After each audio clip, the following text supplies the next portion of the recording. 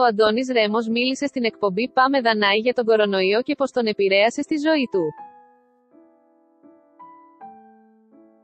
Ο Αντώνης Ρέμος τόνισε, είναι η αρχή του τέλους, θα αργήσει, αλλά θα έρθει το τέλος. Βλέπω φως στο τέλος του τούνελ, VIRAL είδηση, The Bachelor, η ενηγματική ανάρτηση της Μαρίνας με Βασιλάκο Νικόλ σε πρώτο πλάνο. Και πρόσθεσε ότι έγιναν λάθη όσον αφορά τα μέτρα που λήφθηκαν ενάντια στην πανδημία ενώ εξομολογείται ότι υπήρξαν στιγμές που ένιωσε ότι περνά κατάθλιψη.